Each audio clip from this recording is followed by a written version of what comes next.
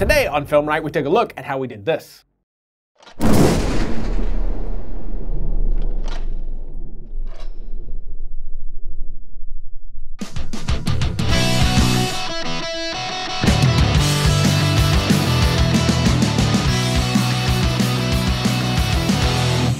Welcome to Film Riot, the show that takes mystery out of the effects and techniques, going to some of your favorite Hollywood films. I'm your host, Ryan Connolly, and before we jump into this,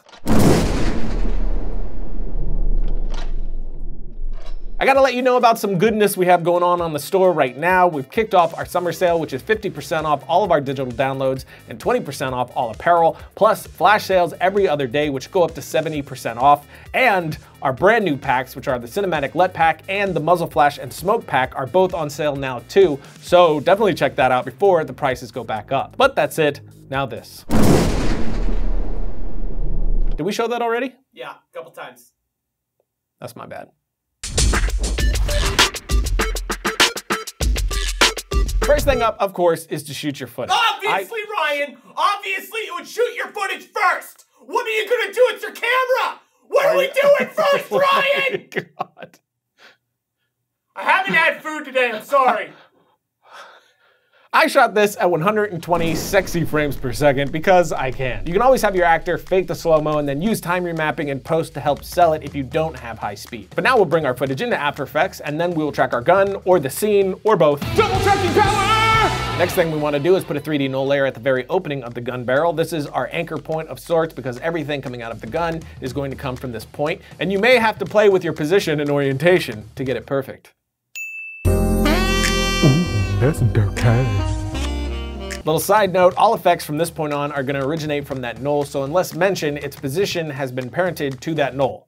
Side note ended. Now, since this is slow motion and we want to give it more of a cinematic feel, we opted to give it sort of a mini time ramp look, giving it that cinematic, stylized feel with an added punchy vibe to it. For the gunfire, we started with HitFilm's Gunfire plugin. It allows you to keyframe aspects of the gun and also shut parts of it off. First, in the transform dropdown, select the tracked null. This will use the null's position slash orientation for the muzzle flash. Then, over the course of five frames, we scale the transform scale from zero to 20%. Then we keyframed the speed from the start of the previous setting over the course of 10 frames. There was no hard number for this, we just slid the seed number until the result was something we liked. Next, we went five frames in and set the intensity to 75%.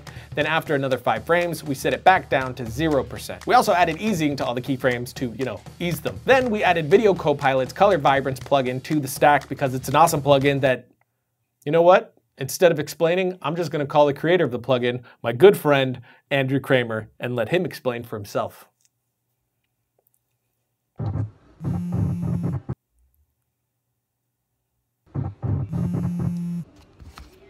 Ryan.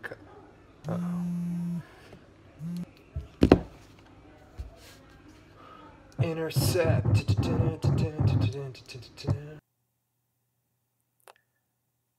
Probably has his phone off. That's my guess. So within the plugin, we went with a yellow color, then set the layers blending mode to add, and then boom, we got some gun explosions to go. Gun explosion goodness. I feel like I messed that up. Did I say it correctly? No, it's fine. I said gun explosion goodness? No, but it was it was fine. What? Yeah, Moving on. It's looking good, but doesn't feel quite done, and this is where sparks and smoke comes in. For this, we use Trapcode Particular for both the smoke and sparks. Double Trapcode Particular power! Which by the way, if you haven't seen the new effects builder in particular, definitely check that out because it's all the things, just all of them. But for the sparks, we modified the preset spark directional so that it would have a slow velocity. This gives the illusion that it's in slow motion and has drag on it. We didn't change the opacity or size over life because we wanted the sparks to shut off quickly. Because even though the shot is supposed to be slow motion, sparks lose energy pretty fast. Again, I used the color vibrance plugin mixed with the tint and curves and set the blending mode to add. For the smoke, we used the particular preset smoke trail as a starting point. Then we had this set to explode as well and only set 50 particles per second. For opacity, we turn that down to 50% and with randomness of 80. Life is set to about 4.5 seconds with a randomness of 25. Turbulence wasn't turned up that high, but we did have the wind turned on so that it would initially shoot forward, then gently blow back. Dirty. Next, we're going to talk about ejecting shells and making the flare feel like it's inside the scene, but first, we must feed the beast.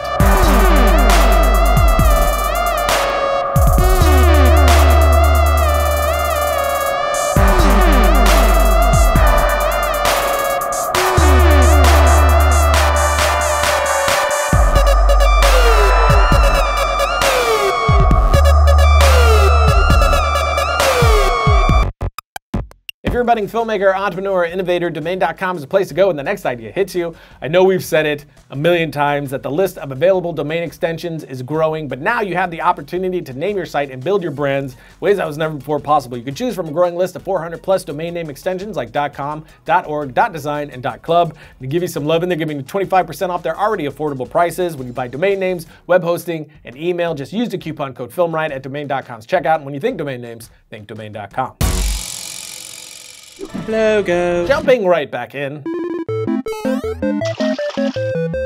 So before adding those small touches that make the whole thing feel like it lives within the scene, we're gonna add in a shell. For this, we were able to get away with just using a shell video as a 3D layer. We timed it right and then hand keyframed the position and speed of it falling and spinning down. Of course, since it does go behind the gun, we had to mask out the gun as well, and then we applied color correction to the shell so it fits in the scene. After that, we added a lot of little touches that make a whole lot of difference, which we talked about in last week's 10 tips for better gun effects episode, which you can find a link to that in the notes below. And the last thing I'll do is add real muzzle flashes over top of everything. As it stands, it looks good, but a little too fluffy, as Seth Worley would say. As it stands, it looks good, but it's a little too fluffy. Hmm. God, I'm good. So I'll grab a few muzzle flashes from our pack and then place them in one after the other, each one only lasting one frame, and then having them grow and scale following what we have in place already. Then I'll put them all in add or screen blending mode depending on the shot, and then boom, a convincing looking slow-mo gunshot. Logo. But that's it for today. Again, don't forget about our sale. So much money off goodness happening right now. So go here or check the notes below. And remember to do the Twitter thing right here. And I'll see you guys next week when I get killed for not knowing how to properly order three beers.